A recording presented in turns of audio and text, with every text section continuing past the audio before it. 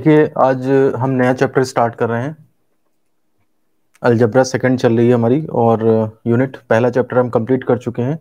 Vector का introduction था और साथ ही साथ वेक्टर को ऐड कैसे करेंगे सब्ट्रैक्ट कैसे करेंगे, उसे रिजॉल्व कैसे करेंगे एक्स वाई जेड कंपोनेंट में कैसे लिखेंगे, ठीक है ना? उससे रिलेटेड कई सारे क्वेश्चंस थे, सब हमने एक एक टाइप के क्वेश्चंस देख लिए हैं। कोई भी चीज़ नहीं छूटी उससे, ठीक है? अब हम आज चैप्टर नंबर सिक्स स्टार्ट कर रहे हैं। ये है चैप्टर दो सदिशों का अदिश या डॉट या बिंदु गुणन हिंदी में कहते हैं, यानी कि स्केलर और डॉट प्रोडक्ट एडिशन सब्ट्रैक्शन हमने पिछले चैप्टर में किया, इसमें हम केवल मल्टीप्लिकेशन करेंगे दो वेक्टर्स का, और वो भी दो टाइप का होता है। तो एक मल्टीप्लाई के लिए एक चैप्टर बनाया है, और दूसरे मल्टीप्लाई के लिए दूसरा चैप्टर बनाया है। चैप्टर छोटे छोटे हैं एक एक एक्सरसाइज है, लेकिन अंदर समझने के लिए आपका बहुत है, क्योंकि यही जो चीज़ यहाँ पढ़ लेंगे, यही फिजिक्स में आपको हेल्प करेगी वेक्टर चैप्टर में, और जो फिजिक्स में वेक्टर चैप्टर पढ़ रखा है, वो आपकी हेल्प यहाँ पे करेगा। तो यहाँ पर थोड़ा सा ज़्यादा डिटेल में मिलेगा आपको डॉट प्रोडक्ट फिजिक्स के मुकाबले। तो इसलिए आपका ये और इम्पोर्टेंट हो जाता है कि आप यहाँ पर पढ़ें तो वो भी तैयार हो जाएगा, वहाँ का पढ़ा हुआ यहाँ भी काम आ जाएगा। दोनों जगह आपको हेल्प मिलेगी। तो इसके लिए ज़्यादा इंपॉर्टेंट हो जाता है। तो पहले तो हम देख लेते हैं कि ये गुणन जो है दो प्रकार का होता कैसे है। तो सबसे पहली बात तो आप हमेशा याद रखें, जब तक आप साइंस पढ़ते रहें, हमेशा ध्यान रखें कि दो अगर हम स्केलर का मल्टीप्लाई करें तो ऑलवेज स्केलर मिलता है। मतलब अगर हम दो अदिश राशियों का गुणा करें, जिनमें डायरेक्शन नहीं है तो उनका मल्टीप्लाई करके हमेशा आपको स्केलर क्वांटिटी ही मिलेगी। स्केलर मतलब ये समझ जाइए कि अदिश राशि और वेक्टर मतलब ये समझिए कि सदिश राशि, जिसमें दिशा है। तो s into s always s होता है। अब इसके बाद अगर आप एक स्केलर से वेक्टर में मल्टीप्लाई करें, ये हमने पिछले चैप्टर में देखा था। तो हमेशा एक वेक्टर मिलता है आपको। ऑलवेज जो है वो वेक्टर मिलेगा आपको। जिसकी दिशा कौन सी होगी? दिशा वही होगी जो इस वाले की दिशा होगी। ये चीज़ हमने पिछले चैप्टर में पढ़ी थी। अब बात आती है कि अगर दोनों वेक्टर होने लगे वेक्टर इंटू वेक्टर कर दें हम। अब देखिए वेक्टर वेक्टर को मल्टीप्लाई करना भी दो तरीका है। V इंटू वी करना, v इंटू वी करना। तो मैं अभी ये साइन तो यहाँ पर तो चलो ठीक है, यहाँ पर अब नहीं लगा सकते, यहाँ पर सोच समझ के लगाना पड़ता है, क्योंकि वेक्टर इंटू वेक्टर कभी कभी स्केलर हो सकता है sometimes scalar and sometimes vector हो सकता है। ठीक है ना? ये मेन चीज़ है जो आपको सोचने में नहीं आएगी आपके कि कैसे दो वेक्टर मल्टीप्लाई होकर के कभी तो वो स्केलर दे देंगे, अदिश राशि बना देंगे और कभी कभी दो वेक्टर मल्टीप्लाई होकर सदिश राशि बना देंगे। बेस्ट एग्ज़ाम्पल इसका जो है वो कहा जाता है वर्क। एक वर्क जो है वो आपकी स्केलर क्वांटिटी अदिश राशि होती है और ये जिन दो के प्रोडक्ट से मिलती है W is equal to f into s तो वो आपके जो है दोनों वेक्टर होते हैं और वेक्टर वेक्टर मल्टीप्लाई करके आपको स्केलर क्वांटिटी मिल जाती है। इसका जो बेस्ट एग्जांपल होता है, वो होता है आपका मोमेंट ऑफ़ फोर्स यानी कि टॉर्क इसमें क्या होता है? Force into perpendicular distance from axis of rotation यानी कि दूरी एफ़ और दूरी जैसी ही कोई चीज़ होती है, लेकिन जब हम इनका मल्टीप्लाई करते हैं तो उसके बाद हमें जो क्वांटिटी मिलती है टॉर्क वो आपकी वेक्टर क्वांटिटी हो जाती है। तो दो वेक्टर का मल्टीप्लाई करके स्केलर भी मिल सकता है, दो वेक्टर का मल्टीप्लाई करके वेक्टर भी मिल सकता है। इसको और थोड़ा अच्छे शब्दों में कहें तो आर क्रॉस एफ़ कहते हैं। जब आप आगे बढ़ेंगे फिजिक्स में, तब आपको देखने को मिलेगा। अभी बहरहाल मैंने जनरली ऐसे लिख दिया था। तो प्रॉब्लम यही आती है कि जब दो वेक्टर को मल्टीप्लाई करते हैं तो कभी तो वो स्केलर बनता है और कभी कभी वो वेक्टर बन सकता है। तो इन दोनों को नाम अलग अलग दिए गए हैं।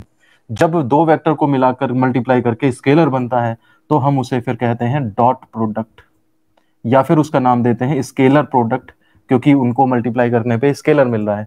और इसको शो करने का तरीका क्या होता है? हम दोनों वेक्टर्स के बीच में डॉट लगा देते हैं। वहीं पर जब दो वेक्टर्स को मल्टीप्लाई करके हमें वेक्टर क्वांटिटी मिलती है, जैसे यहाँ पर तो फिर हम इस केस में जो है वो दोनों का मल्टीप्लीकेशन को शो करने के लिए बीच में क्रॉस लगा देते हैं। जबकि इससे पहले जो स्केलर क्वांटिटीज में है, आप चाहे डॉट लगाएँ, चाहे क्रॉस लगाएँ, सब मतलब एक जैसा मल्टीप्लाई मतलब होता है। लेकिन यहाँ पे डॉट और क्रॉस वेक्टर्स के केस में दोनों वेक्टर हैं तो आपको ध्यान देना पड़ेगा कि डॉट है वहाँ पे या क्रॉस है, बिना उसके काम हो ही नहीं सकता। आप दो वेक्टर को सिंपल वी वी नहीं लिख सकते। या तो आप डॉट लगाओगे, नहीं तो क्रॉस लगाओगे। ये बताएगा आपको डॉट प्रोडक्ट ये बताएगा कि हाँ भाई मल्टीप्लाई स्केलर है आपका स्केलर प्रोडक्ट नाम देते हैं। इसको नाम दिया जाता है वेक्टर प्रोडक्ट या फिर इसको क्रॉस क्योंकि क्रॉस यूज़ कर रहे हैं, इसलिए क्रॉस प्रोडक्ट भी नाम दिया जाता है। तो इस कंसेप्ट के ऊपर बेस्ड हमारा चैप्टर नंबर सिक्स है, ये जो हमारा चल रहा है, और इस कंसेप्ट के ऊपर बेस्ड चैप्टर नंबर सेवन है, जो हमारा अगला चैप्टर चलेगा। तो चूँकि इस कंसेप्ट की शुरुआत हो रही है तो इसलिए स्टार्टिंग में हमें ये जान लेना बहुत ज़रूरी है कि हम क्या पढ़ने जा रहे हैं इस चैप्टर में, और कितना पढ़ेंगे, और बाकी बचा हुआ क्या चीज़ हम नेक्स्ट चैप्टर में पढ़ेंगे जा करके। तो आप एक बार इसमें से अगर कुछ आपको नोट करना है तो नोट कर लीजिए और फिर हम आगे बढ़ते हैं। मैं एक बार फिर से बता देता हूँ कि दो स्केलर को हमेशा मल्टीप्लाई करें तो आपका हमेशा स्केलर आता है। अगर आप स्केलर और वेक्टर को मल्टीप्लाई करें तो हमेशा वेक्टर आता है, लेकिन जब दो वेक्टरों को मल्टीप्लाई किया जाता है तो आपका कभी कभी वो स्केलर भी होता है, किसी सिचुएशन में वेक्टर भी होता है। ये सिचुएशन देख के पता लगती है, ऐसा नहीं है कि कोई नियम है इनके लिए कि ऐसा ऐसा करोगे तो स्केलर ही आएगा या वेक्टर वो सिचुएशन जो है, जैसे आपको देखना पड़ेगा कि फोर्स और डिस्प्लेसमेंट को मल्टीप्लाई करके जब आपने वर्क बनाया तो वो स्केलर है, क्योंकि वर्क में डायरेक्शन की ज़रूरत ही नहीं है। लेकिन जब आपने उसको फोर्स को और परपेंडिकुलर डिस्टेंस से मल्टीप्लाई करके टॉर्क बनाया तो टॉर्क में डायरेक्शन की ज़रूरत होती है तो यहाँ पर ये वेक्टर क्वांटिटी बनती है। तो दो वैक्टरों को मल्टीप्लाई करके स्केलर भी बन सकता है, जैसे वर्क दो वैक्टरों को मल्टीप्लाई करके हमारा वैक्टर भी बन सकता है, जैसे कि हमारा टॉर्क यानी कि बलाघूर्ण जिसे कहते हैं मोमेंट ऑफ़ फोर्स जिसे कहते हैं। तो इस चैप्टर में हम सदिशों का अधिश गुणन, यानी कि डॉट प्रोडक्ट पढ़ेंगे, यानी कि ये जो दो वेक्टरों को मल्टीप्लाई करके स्केलर जैसी चीज़ बन रही है, वो पढ़ेंगे। हमारे पास न्यूमेरिकल भी है वर्क के ऊपर, और एक एक न्यूमेरिकल तो बोर्ड में आया भी है। देखिए, जो सबसे पहला टॉपिक हम पढ़ने जा रहे हैं, वो है प्रोजेक्शन ऑफ़ वेक्टर यानी कि अगर हमारे पास कोई वेक्टर दिया है तो उसका प्रक्षेप क्या होता है? ठीक है ना? प्रोजेक्शन को हिंदी में बोलते हैं प्रक्षेप। प्रक्षेप का अगर वैसे मीनिंग देखें तो इसका मतलब होता है छाया। छाया का मतलब क्या होता है, आप समझिए। शेडो जैसे मान लिया सपोज़ करिए, हमने एक बल्ब जलाया यहाँ पे, और बल्ब जलाने के बाद मैंने एक पेन लेकर के मैंने पेन को ऐसे रख दिया, और बल्ब बिल्कुल सेंटर में है, ठीक है ना? तो इसकी छाया बनने का मतलब ये होता है, रोशनी अगर बल्ब से ना आकर के सीधी सीधी रोशनी आ रही होती तो देखिए नीचे छाया कितनी बनती। लाइट यहाँ से ये वाली तो नहीं पहुँचती, इसके बाद वाली पहुँचती, और इधर से भी इसके ये नहीं पहुँचती, इसके बाद वाली लाइटें यहाँ पहुँचती। तो छाया कितनी बड़ी बनती? छाया इतनी बड़ी बनती। बल्ब से तो खैर लाइट फैल जाएगी ना तो छाया बड़ी बनेगी जा करके। मैं अगर पैरेलल लाइट्स की बात करूँ, दूर से आ रही लाइट तो उस केस में जो है वो इस रॉड की छाया इतनी बड़ी बनेगी। अब अगर मान लिया सपोज़ करिए मैं रॉड को थोड़ा टेढ़ा कर दूँ, ऐसे कर दूँ और फिर अगर मैं कहूँ कि तो बताइए इस पर छाया कैसी पड़ेगी? तो अब देखिए, जब लाइट आएगी, वो लाइट तो अपना सीधा आएगी। तो वो यहाँ से तो इसके बाद नहीं आ पाएगी और यहाँ से इसके बाद नहीं आ पाएगी। यानी कि इस टाइम पे छाया जो है वो केवल इतनी बड़ी बनेगी, छाया इसकी। अब देखिए, अगर मैं इस रॉड को यहाँ पे थोड़ा सा सीधा कर दूँ तो देखिए, लंबी हो जाएगी जा करके। यानी कि रॉड को टेढ़ा करने पे उसकी छाया भी थोड़ी सी कम हो गई। अगर ये ऐसे होती तो ये थोड़ा आगे तक निकल जाती और उस केस में छाया इसकी लंबी बनती। अभी अगर मैं तीसरी सिचुएशन बना दूँ आपको कि इस रॉड को बिल्कुल ऐसे खड़ा कर दूँ और फिर कहूँ कि अब देखो वही छाया बनाओ तो केवल देखिए इतनी सी छाया बनेगी इसकी बस और बाकी सारी जगह जो है लाइट आती रहेगी। तो कहने का मतलब है किसी भी रॉड के या किसी भी, कोई भी ऑब्जेक्ट है, उसकी छाया जो है वो उसके ओरिएंटेशन पे डिपेंड करती है। आप एंगल बदलते चले जाइए, उसकी छाया की जो लेंथ है, इसी को प्रक्षेप कहते हैं, उसकी प्रक्षेप की जो लंबाई है, वो चेंज होती चली जाती है। तो प्रक्षेप के केस में हम दो केस देखते हैं। एक तो हमारा कोई भी वेक्टर दिया है एनी वेक्टर और एक हमारा पोजीशन वेक्टर दिया है। तो दोनों के केस में प्रोजेक्शन कैसे कैसे बनाएँगे? तो देखिए, अगर मेरे पास कोई भी एक वेक्टर दिया है सपोज़ करिए ये वेक्टर दे दिया मुझे ए वेक्टर दे दिया, ठीक है ना? और ये ए भी नाम इसका दे देता हूँ मैं। और अगर मुझसे कहता है इसका प्रक्षेप इस लाइन पे बताइए कितना होगा तो इसका प्रक्षेप कैसे निकालेंगे आप? यहाँ से आप परपेंडिकुलर इस पे ड्रॉप कर देंगे, यहाँ से परपेंडिकुलर इस पे ड्रॉप कर देंगे। ये ए का छाया ए डैश मान लीजिए बी की छाया बी डैश मान लीजिए तो आपका जो यहाँ पे प्रोजेक्शन निकल के आएगा तो ये प्रोजेक्शन आपका निकलेगा आपका कितना? ए डैश बी डैश ये लेंथ जो है आपकी प्रोजेक्शन के बराबर होगी। और अगर आपको ये लेंथ कैलकुलेट करनी है तो वो देखिए इससे भी निकल आएगी। ए सी अगर मैं मान लूँ तो ये is equal to a c भी होगा। और अगर आपको हम थीटा दे दें तो आप इस ए सी को निकाल भी सकते हैं। ट्राइंगल ए बी सी ले लें अगर। तो इस ट्राइंगल में, in triangle A B C और आप अगर कॉस थीटा ले लें तो बेस अपॉन हाइपोटेन्यूज यानी कि a c is equal to आपका ए बी कॉस थीटा आ जाएगा। अगर आप वेक्टर फॉर्म में लिखना चाहें तो आपका a c vector is equal to a a b को ए वैक्टर लिख दें कॉस थीटा इस तरह से आपका ये प्रोजेक्शन निकल सकता है। अब देखिए, यही वेक्टर एसी वेक्टर जो है पैरेलल में यहाँ भी चलाएगा, क्योंकि वेक्टर्स को हम पैरेलल में मूव करा सकते हैं। तो इसलिए आपको ये तरीका पता लगा कि अगर किसी भी वेक्टर का किसी एंगल पे प्रोजेक्शन चाहिए तो उसका कॉस्ट लगा देते हैं उसमें। यानी कि एक तरह से कंपोनेंट निकाल लिया है हमने। कंपोनेंट का भी तो यही तरीका है कि वेक्टर और जिसने एंगल पे ले जाना है, उसका कॉस्ट आप लगा दीजिए तो आपको ये मिल जाएगा। तो इसका कॉस्ट लगा के आपको सीधे ये प्रोजेक्शन यहाँ पे मिल जाएगा। अब अगर बात आती है पोजिशन वैक्टर की तो पोजीशन वेक्टर क्या है? वो देखिए ओरिजिन से ही स्टार्ट हो जाएगा। ये देखिए, बात वहीं की वहीं है। ये बस ये है कि कहीं भी, कहीं से भी स्टार्ट होकर कहीं भी हो सकता है तो आप वहीं पे इसको कंपोनेंट ले लीजिए। अब अगर मान लिया सपोज़ करिए, यहीं से मैंने ओ ए वैक्टर ये स्मॉल ए वैक्टर है, अब इसका प्रोजेक्शन चाहिए। तो देखिए, एक सिरा तो ये नीचे आया ही हुआ है, और दूसरे से आप परपेंडिकुलर डाल दीजिए। तो ये जितना ओ बी नाम दे दीजिए इसका या तो। तो ये इस यहाँ पे प्रोजेक्शन जो है, वो आपका कितना हो जाएगा? ओ बी हो जाएगा। अब अगर आपको ये थीटा एंगल पे दिया हुआ है तो ये ओ भी निकालेंगे तो ये भी उतना ए का कंपोनेंट जितना आएगा ए कॉस थीटा ये इसका यहाँ पे प्रोजेक्शन हो जाएगा। तो दोनों डायग्राम बना के आप समझ लीजिए प्रोजेक्शन किस तरह से निकाला जाता है, और शॉर्टकट हमारे पास ये आ गया है कि किसी भी वेक्टर का प्रोजेक्शन निकालने के लिए आप बस जितने एंगल पे ले जा रहे हैं, उसका कॉस्थीटा ले लीजिए। यहाँ भी वही है, उसका कॉस थीटा ले लीजिए। वो स्पेस में कहीं से भी कहीं स्टार्ट हो सकता था, क्योंकि कोई भी वेक्टर था, ये पोजीशन वेक्टर है तो ये ओरिजिन से स्टार्ट होगा। तो पहला पॉइंट तो इसका छाया आएगी मतलब छाया इसकी बनाने की ज़रूरत नहीं है, ये तो स्क्रीन से ही स्टार्ट हो रहा है। और बाकी इससे छाया बना लीजिए यहाँ पे, सीधे। लाइट हमेशा ऊपर से मानिए कि आ रही है, इसमें भी लाइट ऊपर से मानिए तो इस तरह से ये आपका प्रोजेक्शन दोनों केसेस में निकल आएँगे। देखिए नेक्स्ट टॉपिक हमारे पास आ रहा है अधिश गुणन या बिंदु गुणन। वही जो हमारा चैप्टर है उसी की स्टार्टिंग मेन स्टार्टिंग हो रही है। प्रोजेक्शन मैंने इसलिए देख लिया क्योंकि इसके अंदर जब ज़रूरत पड़ेगी प्रोजेक्शन की तो फिर एकदम से आपको नया ना लगे, इसलिए हमने प्रोजेक्शन पहले ही देख लिया है उस चीज़ को। तो अब अदिश गुणन या बिंदु गुणन स्केलर प्रोडक्ट अदिश को स्केलर भी बोलते हैं तो स्केलर प्रोडक्ट या फिर बिंदु का मतलब डॉट प्रोडक्ट हिंदी में भी डॉट लिखा जा सकता है डॉट प्रोडक्ट ऐसे करके भी पेपर में आता है। तो दो वेक्टर्स का डॉट प्रोडक्ट अब देखिए डिफाइन कैसे करते हैं।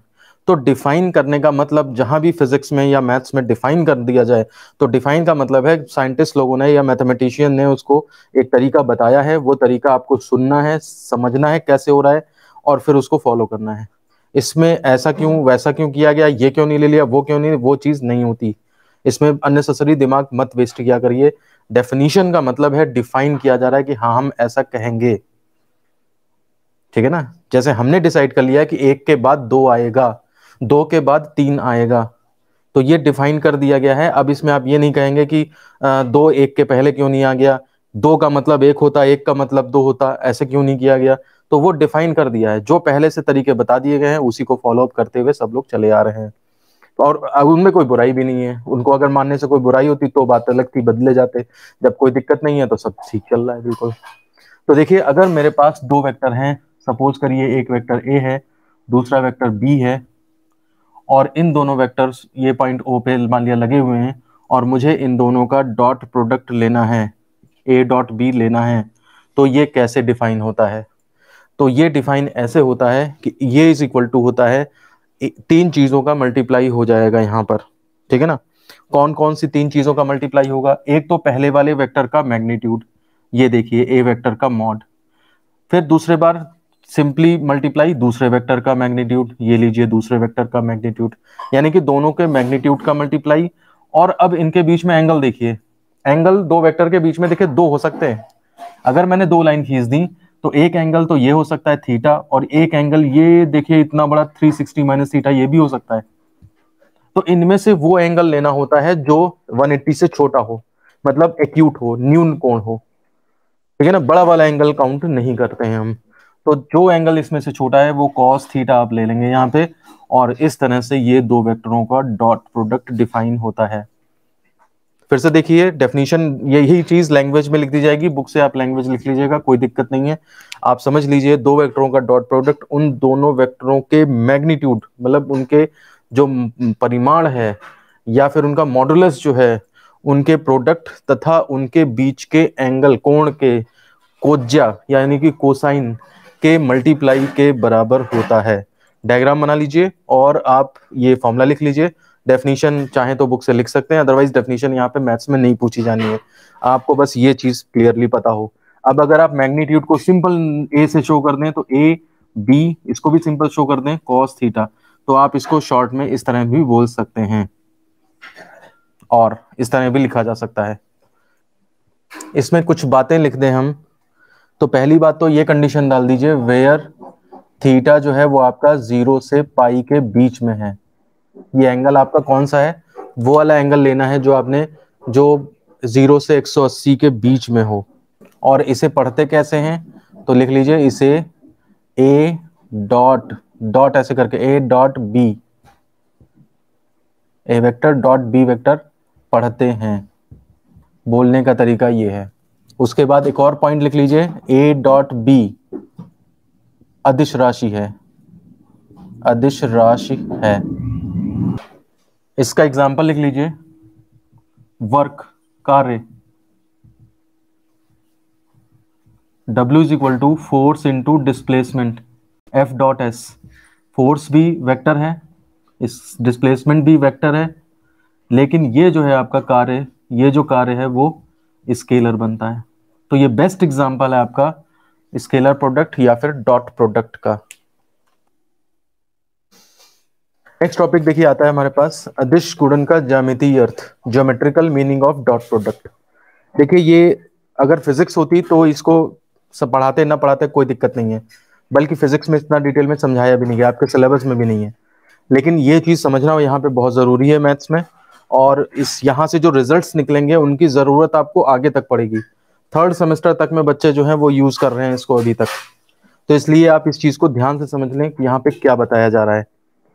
ज्यामितीय अर्थ का मतलब होता है कुछ ज्योमेट्री से कुछ कंसेप्ट निकलेंगे और आपको उन्हें ध्यान में रखना है। चलिए, मान लिया सपोज़ करिए हमारा ये ए वेक्टर है और ये हमारा बी वेक्टर है, ठीक है ना? और इनके बीच में एंगल थीटा है। वी नो दैट हमने अभी पढ़ा कि a dot b is equal to a b cos theta ये होता है हमारा। अब देखिए इसको हम थोड़ा सा इसमें घुमा फिरा के कुछ देखते हैं कि क्या कोई ये नई चीज़ बन जाती है हमें। कोई ऐसी चीज़ इसमें बन जाए कि आ, मतलब वो चीज़ से फ़ायदा मिलने लगे हमें। तो जरा उसको देखिए आप। आप इसे चाहे ए वेक्टर मॉड ऐसे करके भी लिख सकते हैं कोई दिक्कत वाली बात नहीं है। उसको लिखने से थोड़ा सा और अजीब सा लगने लगता है। मतलब बच्चों को और टफ सा लगने लगता है, इसलिए हम उसको लिखना पसंद नहीं कर रहे हैं।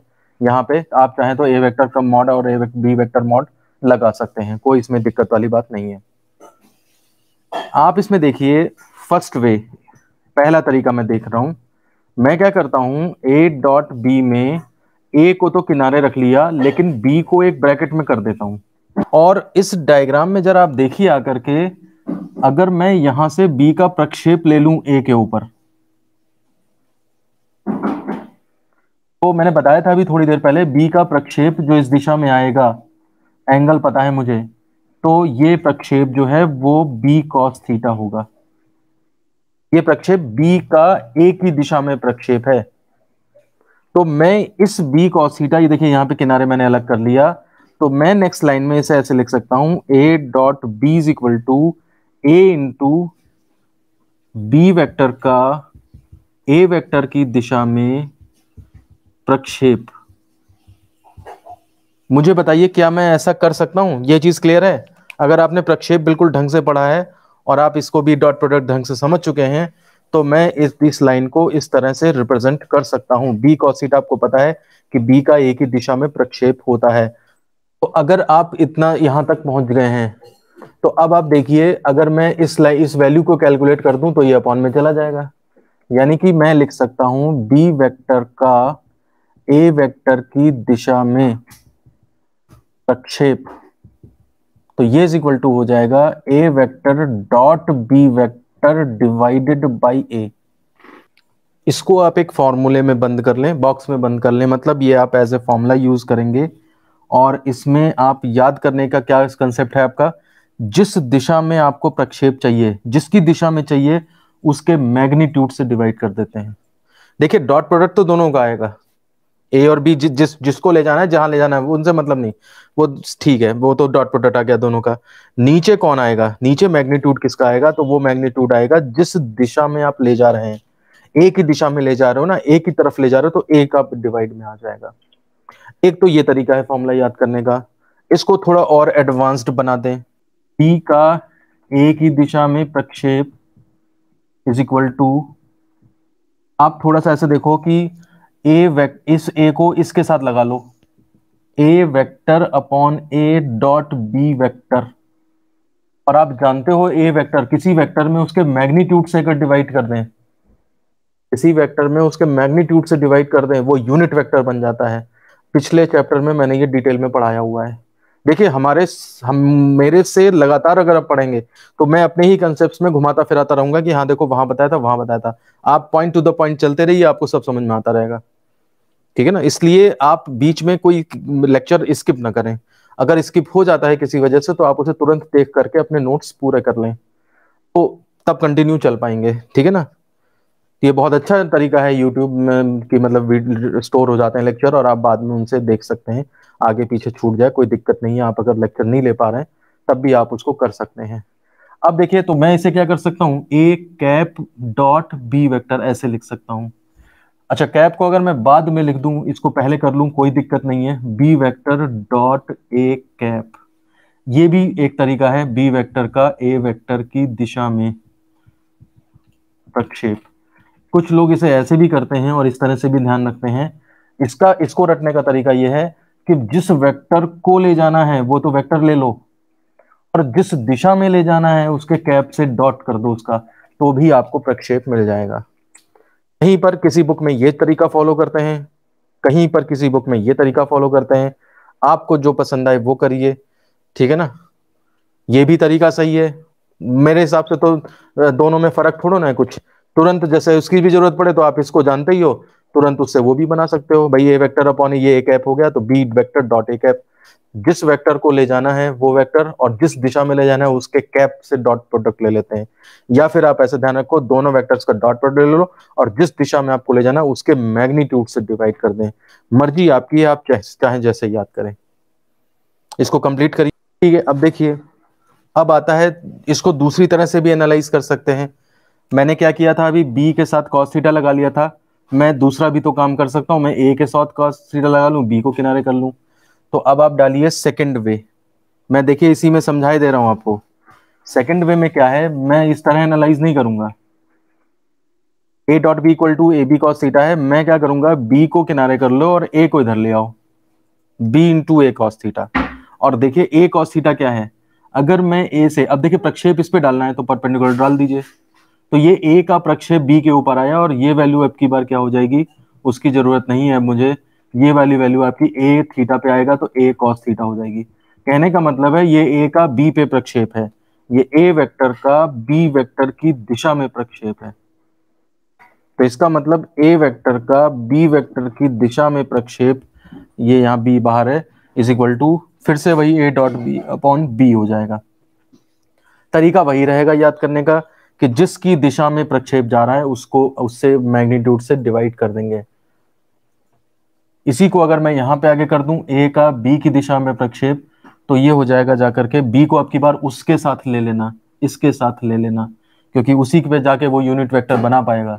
तो ये हो जाएगा आपका a vector dot b cap आपका आंसर आ जाएगा a vector dot b cap कहने का मतलब है ए की दिशा में बी वेक्टर का ये ये भी आपको बदलेगा ना ए का बी की दिशा में प्रक्षेप। जिस वेक्टर का प्रक्षेप चाहिए वो वेक्टर ले लो और जिस दिशा में चाहिए उसका कैप से मल्टीप्लाई कर दी जाती है। तो ये आपको उसी चीज़ को हम दूसरी तरह से भी कह सकते हैं।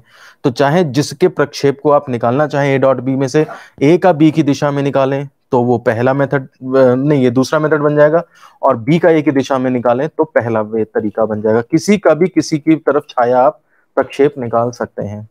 कंप्लीट करिए क्योंकि इसका हम यूज़ और जगह भी करेंगे। हेड निकाल दीजिए प्रॉपर्टीज़ ऑफ़ डॉट प्रोडक्ट अदिश गुणन के गुण। क्या उन कौन से नियमों का ये पालन करता है? ये नियम कभी कभी आपके यहाँ पूछे भी जा सकते हैं प्रूफ करने को आ भी सकते हैं। तो देखिए पहला जो नियम फॉलो होता है वो होता है कम्यूटेटिव लॉ कम्यूटेटिव लॉ यानी कि क्रम विनिमय नियम। क्रम विनिमय नियम। डॉट प्रोडक्ट जो है कम्यूटेटिव होता है। मतलब कहने का यह है, क्रम विनिमय नियम का पालन करता है। इसका पालन करने का मतलब क्या है? क्रम विनिमय विनिमय मतलब एक्सचेंज होता है। क्रम मतलब ऑर्डर अगर आप एक्सचेंज करते हैं तो कोई फ़र्क नहीं पड़ता है। इसका मतलब ये हुआ कि ए डॉट बी करो, या फिर आप बी को पहले कर लो ए को बाद में कर लो तो बात बराबर होती है। अब हम देखेंगे इसको प्रूफ कैसे होगा इसका। क्रम विनिमय कम्यूट करना मतलब उल्टा सीधा कर दें तो बात बराबर रहे। तो इसको देखिए प्रूफ कैसे करेंगे? आप सबसे पहले ए डॉट बी लीजिए, ठीक है ना? तो ए डॉट बी अगर हम लेंगे तो देखिए क्या हो गया। ए इंटू ए वैक्टर का मैग्नीट्यूड इंटू बी वैक्टर का magnitude into cos of theta ये होता है। अब देखिए ये मैग्नीट्यूड है, जैसे टू थ्री हो गया। अब दो को तीन से गुणा करो या तीन को दो से गुणा करो, बात बराबर रहती है। ये सिंपल नंबर है। हमें ये नहीं पता कि ये आगे पीछे हो सकते हैं। हमें तो ये तो पता है कि सिंपल नंबर है वो आगे पीछे हो जाएँगे।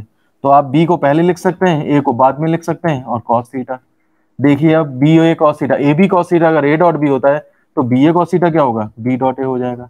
तो इसका मतलब ये हो गया कि a dot b is equal to b dot a ये आपका कम्यूटेटिव लॉ प्रूफ हो जाता है। तो ये आपका कम्यूटेटिव लॉ है मतलब फॉलो करता है और उसके बाद आ, कैसे करता है? क्या वजह है तो उसका प्रूफ आपके सामने है। आप इसे नोट करिए कंप्लीट करिए। देखिए नेक्स्ट प्रॉपर्टी क्या है? अगर मेरे पास एम अदिश राशि है कोई वेयर m स्केलर तो m का ए से डॉट प्रोडक्ट लेके फिर डॉट एम का a से प्रोडक्ट लेके फिर डॉट करूँ बी के साथ? या फिर एम को मैं बी के साथ रख लूँ, फिर a से डॉट करूँ? या फिर मैं पहले ए डॉट बी कर लूँ, फिर एम करूँ? तो बातें बराबर रहती हैं। कोई फ़र्क नहीं पड़ता। अधिश राशि अपनी मर्ज़ी से कहीं भी आ जा सकती है, कोई फ़र्क नहीं पड़ता डॉट प्रोडक्ट पे। ये प्रॉपर्टी ये बताती है आपको। ठीक है ना? मतलब अदिश राशि को हम एसोसिएट कर सकते हैं किसी के भी साथ। कोई कोई इसे कभी कभी एसोसिएटिव लॉ भी बोला जा सकता है। साहचर्य नियम भी बोला जा सकता है कि एम को इसके साथ भी रख सकते हैं बी के साथ के भी रख सकते हैं और दोनों के अलग भी रख सकते हैं। देखिए, इसका प्रूफ भी सिंपल सा ही है। कैसे करेंगे हम इसका प्रूफ हम देखिए क्या करते हैं m a m a dot b निकाला मैंने। तो देखिए, अगर आप इसको एक मानते हो, इसको एक मानते हो तो इधर क्या हो जाएगा? एम ए का मैग्नीट्यूड तो एम तो खुद ही मैग्नीट्यूड है। ए का मैग्नीट्यूड केवल ए आ जाएगा बी का मैग्नीट्यूड बी और into cos of theta equation number first also अगर मैं ये निकालूं ए डॉट एम बी तो देखिए क्या होगा? ए का मैग्नीट्यूड ए और एम बी का मैग्नीट्यूड एम इंटू बी और इनके बीच का एंगल कॉस थीटा ये भी इसमें क्या है? एम अब नंबर बन गया तो कहीं भी आगे पीछे कर लो। एम पहले कर लो ए भी बाद में कर लो। देखो इक्वेशन फ़र्स्ट जैसी चीज़ आ गई। ऑल्सो तीसरी चीज़ निकाल के देखो m a dot b m और ए डॉट बी का मतलब क्या है? ए का मैग्नीट्यूड बी का magnitude and cos of theta तो ये भी वही चीज़ आ रही है। तो from first second third right side तीनों के बराबर है। इसका मतलब m a dot b is equal to a dot m b is equal to m a dot b यानी कि हमारी प्रॉपर्टी जो है वो प्रूफ हो जाती है। चलिए तो आज चैप्टर हमारा स्टार्ट हो गया है और कुछ हमने स्टार्टिंग कर दी है इसकी और कल आपकी प्रॉपर्टीज़ जो है हम पूरी खत्म कर देंगे और उसके बाद परसों इसके न्यूमेरिकल करके चैप्टर फिनिश हो जाएगा। ठीक है ना? तो आज को क्लास को यहीं पे ख़त्म करते हैं। धन्यवाद।